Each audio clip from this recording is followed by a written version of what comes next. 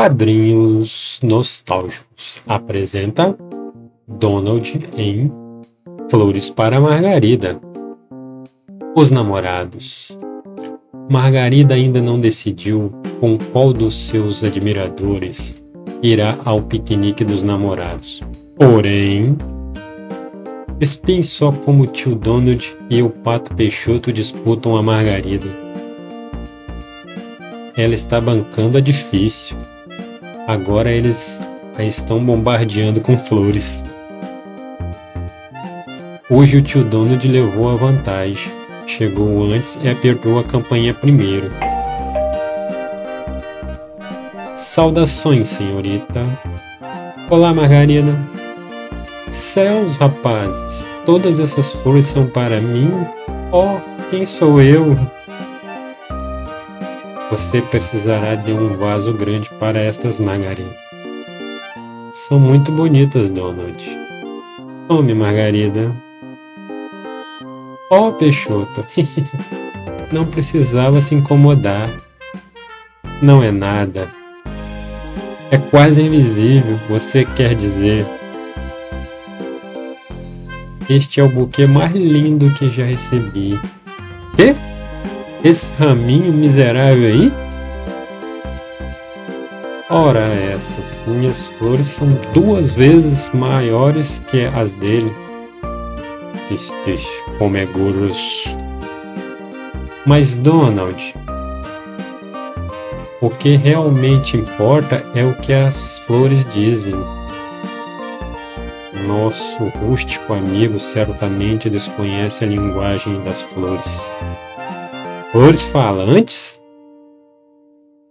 Você deve estar brincando, não escuto patavina. Nossa, não é isso. Veja aqui, Donald. Cada flor tem seu próprio significado. Está tudo escrito aqui neste livro. É. Bem, o que tem a dizer então as florzinhas do Peixoto? Dizem Posso ousar ser um dia mais do que um amigo? Ai ai. Dizem isso? Que tem o meu buquê para dizer? Hum, espere um pouco. Sua mensagem é: O cavalo do meu avô está com lumbago. Que bola! Não faz mal, Donald. Vocês dois tem toda a minha consideração. Por que não o manda visitar o cavalo do avô, Margarida? O quê? Retire isso, Peixoto. Calma, calma, eu só estava brincando. Por que não voltam amanhã, rapazes? Tenho que trabalhar esta tarde. Trabalhar? Estou fazendo miniaturas com fio de ouro para usar com meu colar no piquenique. Parecem insetinhos. Já sei, essas moscas são para combinar com a paisagem campestre. Hein? Moscas? Meus escaravelhos egípcios sagrados? De fio de ouro? Moscas? Alguém deu um fora. Suma daqui! Estou desconfiado que a sua cotação baixou, moço. Vejo. Que foi, tio? Um desastre, meninos. O Peixoto me arrasou com as suas flores falantes. Flores falantes? Donald explica. Fracassei no setor das flores, sobrinhos.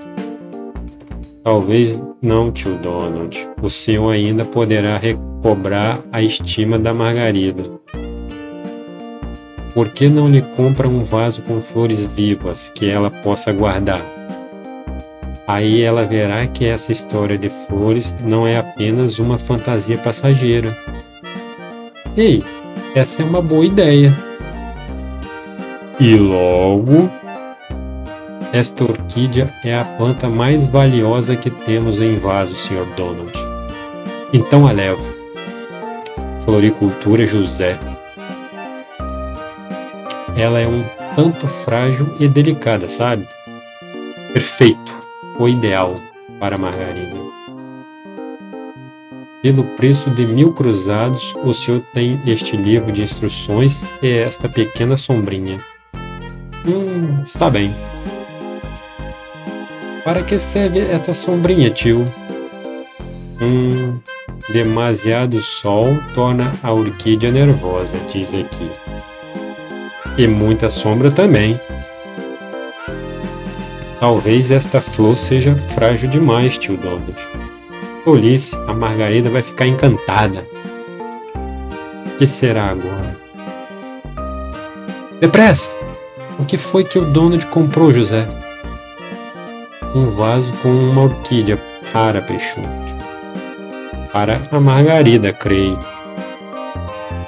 Levarei uma orquídea em vaso também, José. Sinto, mas Donald comprou a última que eu tinha.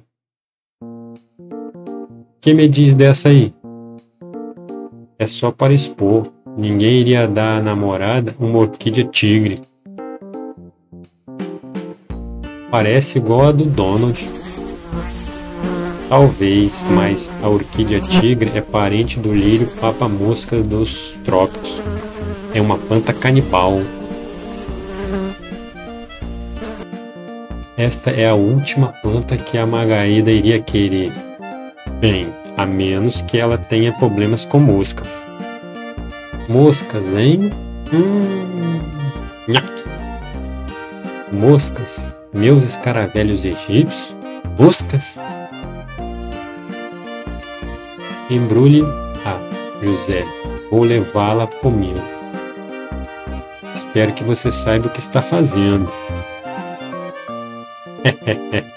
que farra!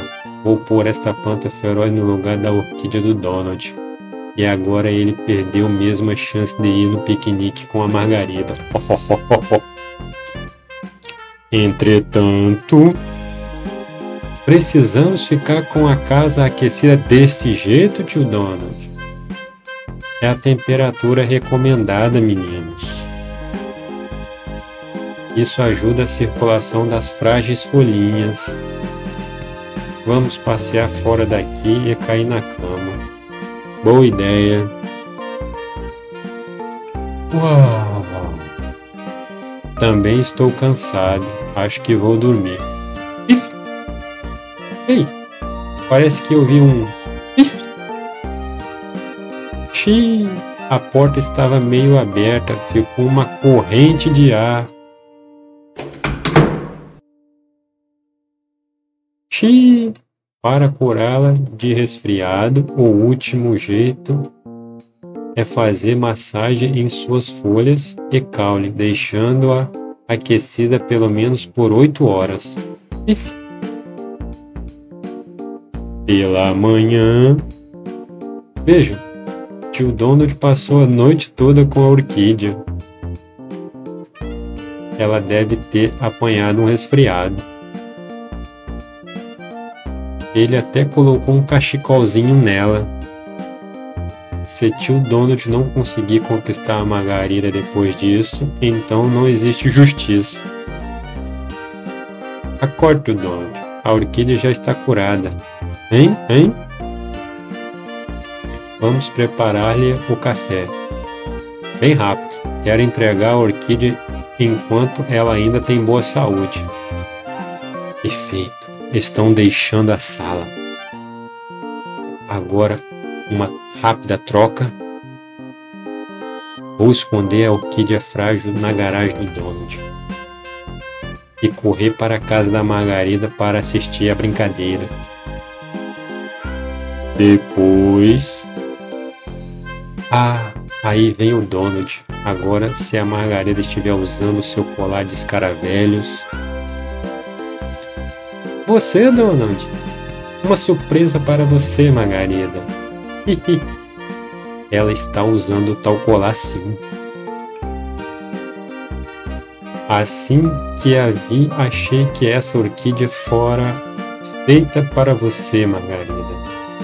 Linda! Puxa, até se vê quase seu lindo rostinho no. Ai, está viva? Ai, é uma planta viva sim.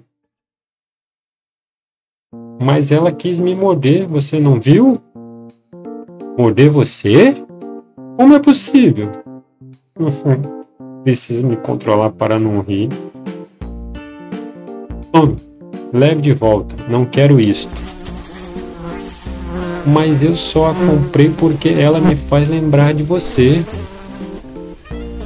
Credo, ela abocanhou aquela mosca num piscar de olhos.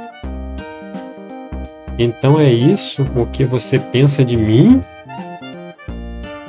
Primeiro foi o cavalo do seu avô, e agora essa planta canibal? Não, espere, eu.